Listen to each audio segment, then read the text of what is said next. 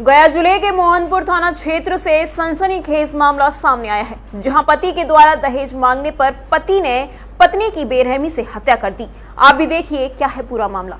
मोहनपुर थाना क्षेत्र के ग्राम सावर अचक वर्ष 2018 में पूजा कुमारी के साथ मनोज कुमारी की शादी हिंदू रीति रिवाज के साथ हुई थी। पति पत्नी के बीच उलझन एवं मनोज शर्मा पति के द्वारा दहेज प्रताड़ना का मामला प्रकाश में आ रहा है। मंगलवार की रात्रि मनोज कुमार ने अपनी पत्नी पूजा को गला दबाकर हत्या कर दी गई सूचना मिलते ही ससुराल वाले सावरचक गाँव पहुँचे। आनंद फानन में मौके पर पहुंचकर प्रशासन को फ़ोन किया। मोहनपुर थाना अध्यक्ष घटनास्थल पर पहुंचकर मृतक के पति मनोज शर्मा को मोहनपुर थाना गिरफ़्तार कर लिया गया। हालाँकि अभी तक मृतका के परिजनों के द्वारा कोई लिखित आवेदन नहीं दिया गया है। अंतिम शव को अंतिम परीक्षण के लिए भेज दिया गया है। पुलिस आगे की कार्यवाही में जुटी हुई है। प्रातः दर्पण न्यूज़ के लिए गया बिहार से अशोक शर्मा की रिपोर्ट।